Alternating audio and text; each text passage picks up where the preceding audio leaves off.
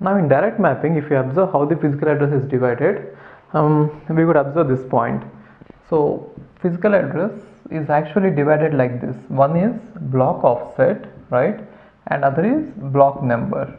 And now uh, let us say this block number is, um, this block number consists of small m bits. Then what can you say about the number of blocks? The number of blocks equal to 2 power m, right?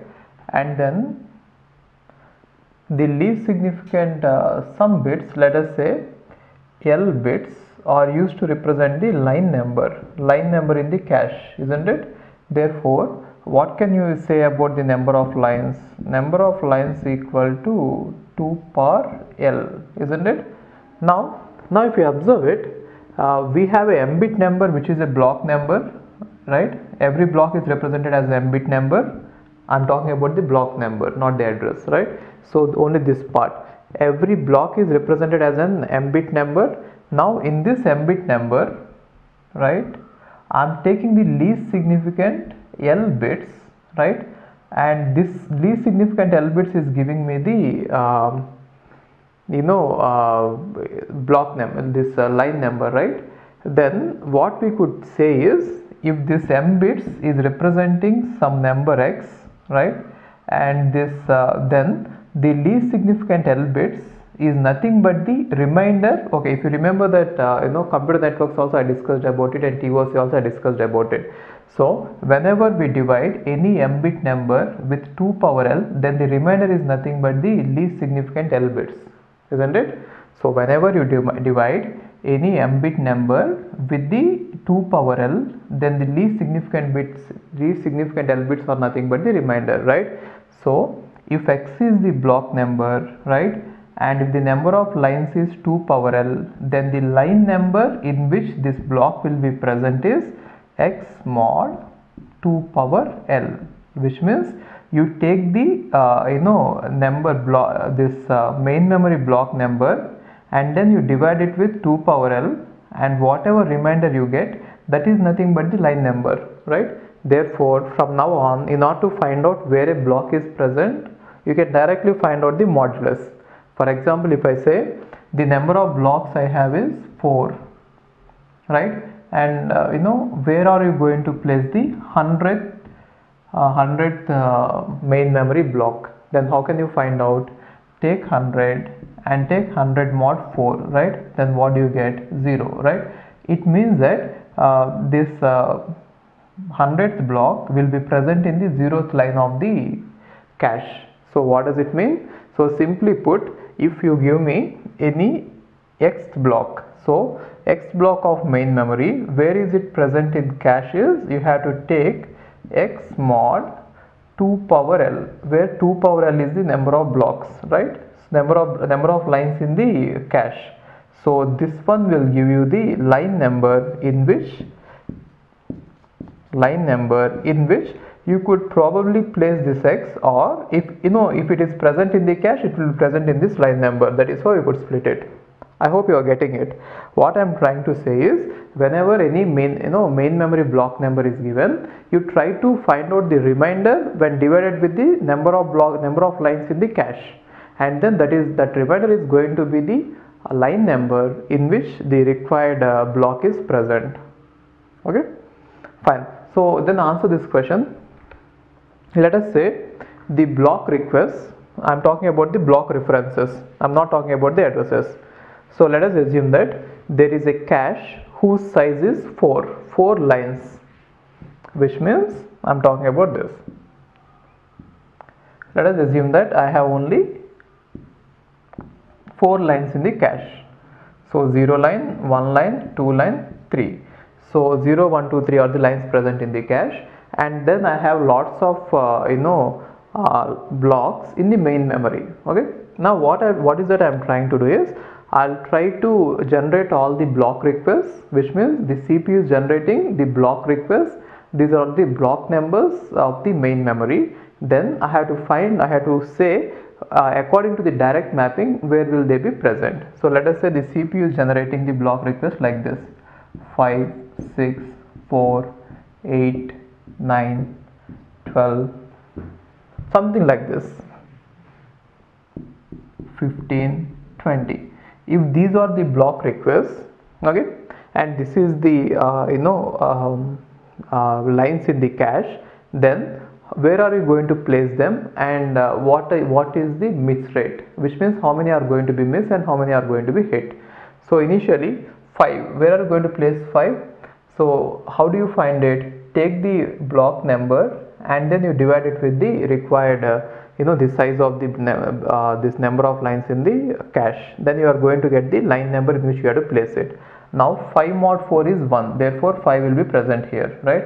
And 6 mod uh, 4 is 2 therefore 6 will be kept here. And what about 4 4 mod 4 is 0 which means 4 will be here. What about 8 8 mod uh, 4 is actually you know uh, conflict with this. Why? 8 mod 4 is 0 and already something is present in 0 therefore it is going to be replaced and 8 is going to be kept there right? Now 8 is present in 0 right? And now 9 9 mod 4 so 9 mod 4 is 1 so it has to be placed here right? 9 and 12 12 mod 4 is 0 therefore 0 so are you observing it so even though I have an empty space I am still replacing this isn't it? This space is not yet used till now. Are observing it? So this is called as this problem is called as conflict miss. The actual reason is not the you know non-availability of space. I have a free slot I have a free line. I could have used it but then direct mapping says that even though you have a available free space you are always supposed to map to only one location. Because of that point you know the, that is the disadvantage of this direct mapping. Okay? Now uh, what about 15 where are you going? Okay what about 12 12 has to be placed here itself right? And what about 15 so 15 has to be placed in 3 what about 20 20 has to be placed in 0 got it? So now uh, if you observe it uh, we, even though we have got uh, plenty of space available here for a long time only this one was highly used heavily used isn't it? I'll tell you a worst case scenario. Worst case scenario inputs will be like this. Let us say i have uh, four uh, yeah, four lines zero line one line two line three line and let us say we have uh, the uh, blocks like this. The block main memory block requests are like this.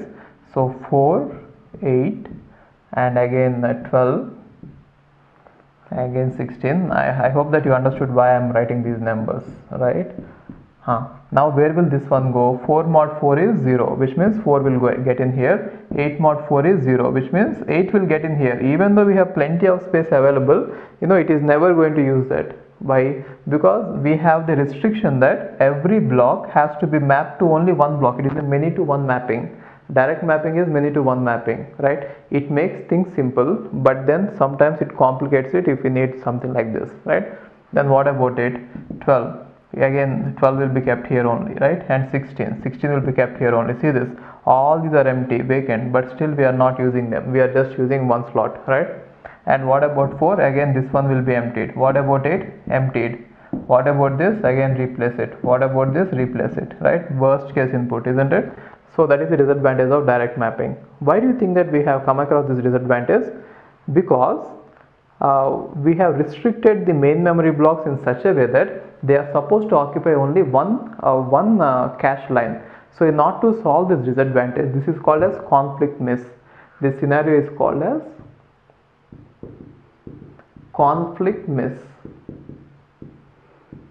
right? So conflict miss is different from capacity miss so capacity misses in case if you don't have the capacity then if you come across a miss that is called capacity miss but conflict misses even though when you have uh, lots of other space you are not going to use that space. You are replacing a page which will be a miss later right? And this miss is going to be C if this 4 would have been there it would have been useful later right? Now this miss was because of the conflict not because of the capacity right? So conflict miss is the disadvantage of this uh, you know direct mapping what about capacity miss in case if the entire uh, all the blocks are full all the lines are full then if you replace a page which is going to cause a miss later that is called as capacity miss we have replaced a page because we don't have the capacity to store it. Then that is fine. At least that is that looks better isn't it Now, in order to solve this problem, we will remove that restriction. What is the restriction? That a particular block of main memory has to get into only particular uh, line of the cache. Now, if I remove that restriction and I say that any block in the main memory can go to any line in the cache, then this is a different scenario. Now, what happens? Any block in the main memory can get into any block of the cache. That is called as associative mapping. So, we shall see about associative mapping now. Okay.